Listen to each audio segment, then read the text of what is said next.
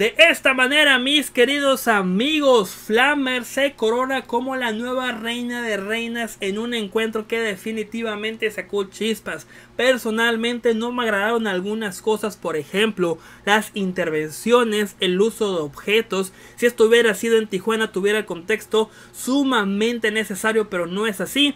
Aclaro que al final de cuentas con sangre, con una güera loca totalmente vapuleada en lo que es este encuentro. Vemos oficialmente a lo que es la nueva cara de lucha libre triple A la que ganó la máscara de Chica Tormenta también en una triple manía el año pasado, la que ganó oportunidades, la que no se dejó achicar ante luchadoras, por ejemplo, como Natalia eh, o como lo que es eh, Camille y bueno, ya con esta oportunidad recibida por el Reina de Reinas y que desde que se anunció lo queríamos observar, Lady Flammer se corona como nueva reina de reinas. Hubo intervenciones como ya destaqué en algún momento de la lucha que pudieron arruinar lo que es el encuentro, tanto Yedra como lo que es Maravilla.